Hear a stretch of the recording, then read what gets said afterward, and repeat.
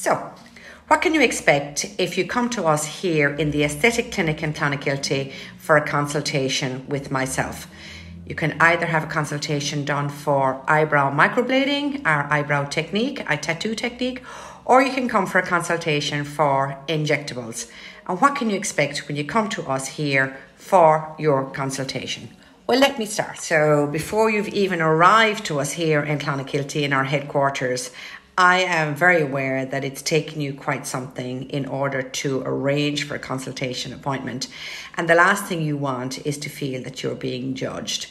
It's an ideal opportunity for you to meet me, and I allow 45 to 50 minutes aside for a consultation appointment whereby we can discuss your concerns.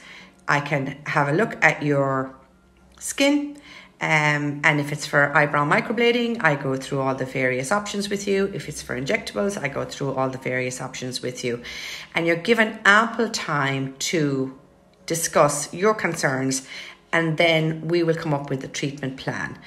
Um, what I particularly like about a consultation is there is no pressure for you to actually book in at a consultation time. You go away to cool off. And that cooling off period is an ideal way for you to absorb what you discussed with me. Uh, to absorb the treatment options that I discussed with you, and you can have that opportunity then to discuss with family is this the road that I want to go down? Um, ideally, I consultation is the best way to explore your options and see if what we do is suitable for you. Um, so we can then explore a bit deeper and talk about the treatments that we offer, and um, we can discuss the pros and the cons any possible complications that can happen so that you already know at the beginning um, to get a picture of the kind of treatments that are best suited um, to you and the possible options that you have. Um, and then we finish the consultation by um, letting you go home to think about uh, whether you want to proceed or not an email is sent to you afterwards about the treatment options um, so that if you can refer to it if it so happens that you can't remember a whole lot uh, about the consultation. Most oftentimes people would say, yeah, book me in. But usually I say to them, no, I think you need to go home and think about it and book in at a later stage. And that treatment plan has been emailed to you. It also refers to the pricing so that you know exactly what you're signing yourself up to. Um, and you know, anything that we've discussed in the room will be uh, tabled into an email so that you can discuss it with families. So I don't want anybody who comes to have a consultation to feel rushed or feel pressured into making an appointment.